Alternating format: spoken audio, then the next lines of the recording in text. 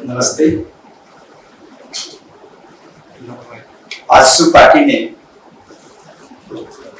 इस पूरे अप्रैल माह को सामाजिक न्याय माह के रूप में घोषित किया। जिसके तहत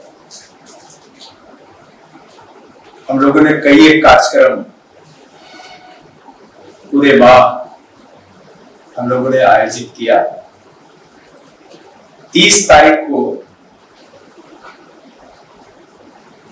पूरे प्रदेश स्तरीय कार्यक्रम और इस माह का अंतिम कार्यक्रम होगा। सामाजिक न्याय मार्च के तीस अप्रैल को सामाजिक न्याय मार्च,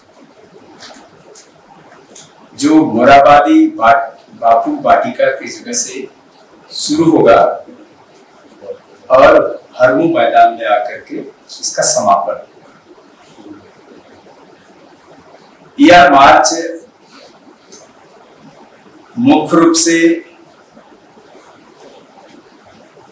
उन तमाम बिंदुओं को जो झारखंड के सामाजिक विषयों को लेकर के जो राज्य सरकार ने घोषणा किया था कि हम सरकार में आने के साथ ही न्याय करेंगे। जो आज तक नहीं हुआ, हम उस न्याय की बात को लेकर के ही सामाजिक न्याय मार्च कर रहे इससे पहला जातीय जनगणना एवं पिछड़ों की आबादी के अनुरूप आरक्षण सुनिश्चित करने के संदर्भ अभी नगर निकाय का चुनाव, नगर निकाय का टर्म समाप्त हो गया।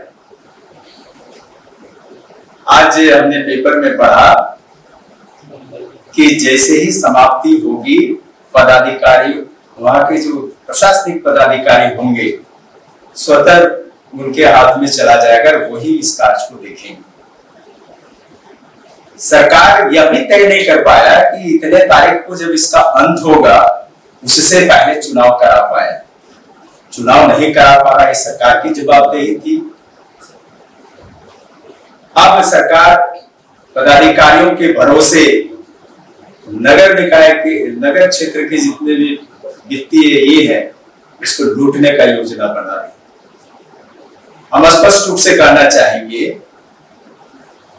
चुनाव करने से पहले ट्रिपल टेस्ट हो जाए, और ट्रिपल टेस्ट के आधार पर ही नगर निकाय की चुनाव हो और जब तक ट्रिपल टेस्ट होकर के चुनाव नहीं होता है, तब तक अभी जो एग्जिस्टिंग हमारे जो जनप्रतिनिधि है, उनका एक्सटेंशन किया जाना चाहिए। जिस तरह से पंचायती व्यवस्था में चुनाव नहीं होने के कारण एक्सटेंड कर दिया गया नगर निकाय क्षेत्र में भी उसी तरह का एक्सटेंड करना चाहिए। नहीं तो बहुत बड़ी संभावना है। एक तो सरकार के कारण उसका अंत हो जाना चुनाव नहीं कराने के कारण ही इसका अंत हुआ पहले।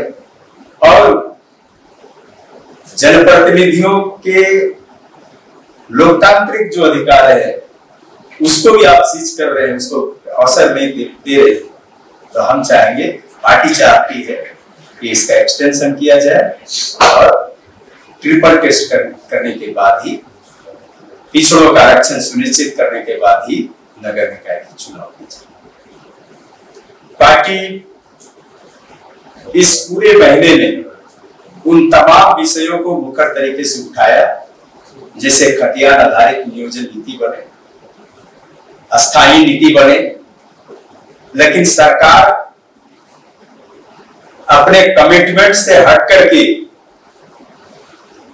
बत्तीस के खतियान की बात करने वाली सरकार अब कहा सिक्सटी फोर्टी या कोई नया फॉर्मूला लेकर के आया है, जिसको लेकर के यहाँ के युवाओं में भारी आक्रोश न्याय के लिए युवा सड़क पे आ रहे हैं।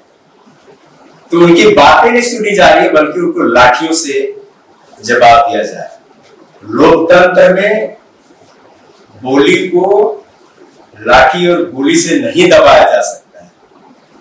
ये तो अंग्रेज़ों के समय में होता था। अंग्रेज़ तो चले गए, लेकिन कुछ शिष्टाचार छोड़ रखे जिनको वर्तमान सरकार अपना रही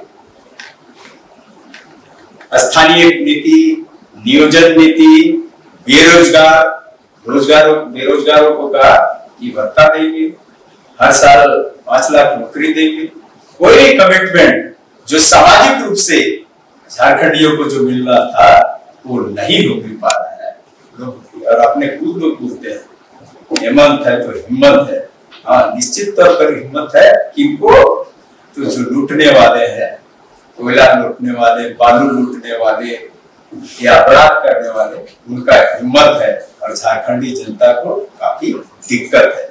हिम्मत है तो दिक्कत है वो जो दिखाई पड़ साथ ही साथ संसाधन के लूट के खिलाफ हम लोग मुकर गए हैं।